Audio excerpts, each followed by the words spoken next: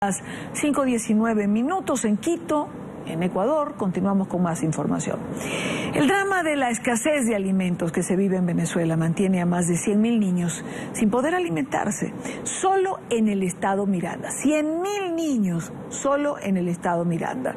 Docentes y madres exigieron al defensor del pueblo, Tarek William Saab, intervenir ante el Ejecutivo para que se respete ese derecho constitucional. Oliver Fernández, uno de nuestros periodistas en Caracas, hizo este reporte.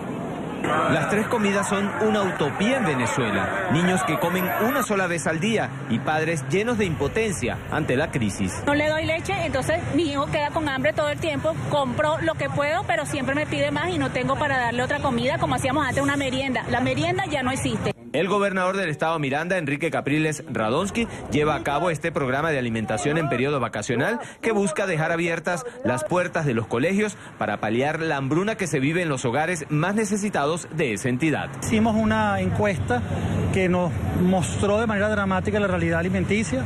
Entrevistamos a más de 3.000 niños de 210 escuelas y los niños nos reportaron que el 26% de ellos está comiendo dos veces al día el 6% recomiendo una vez al día.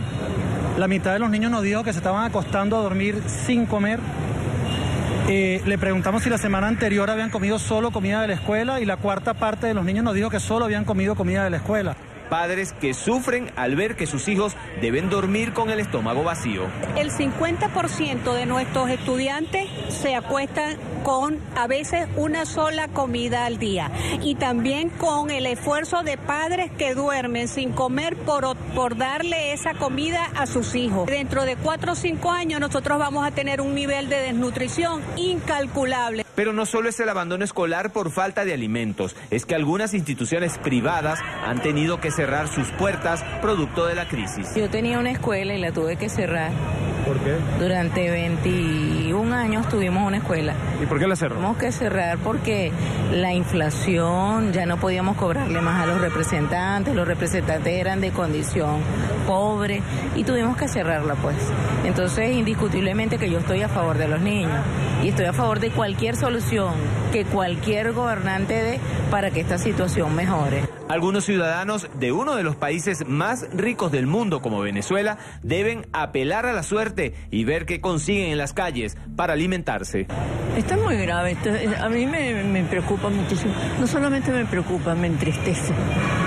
A mí se me arruga el corazón. Yo vivo aquí en la Candelaria y a las seis de la tarde usted ve en las esquinas donde están las tascas y más allá cómo se agrupa una serie de personas a recoger comida, la comida que botan en los restaurantes y la comida que botan y los desechos de los, de los supermercados.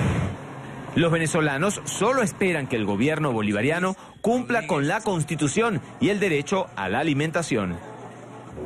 Representantes del Estado Miranda esperan que el gobierno de Nicolás Maduro cumpla con la alimentación de estos 100.000 niños repartidos en casi 400 colegios. De lo contrario, no descartan tomar las calles. Es la información que manejamos desde Caracas y con ella los invitamos a que continúen con más de la tarde.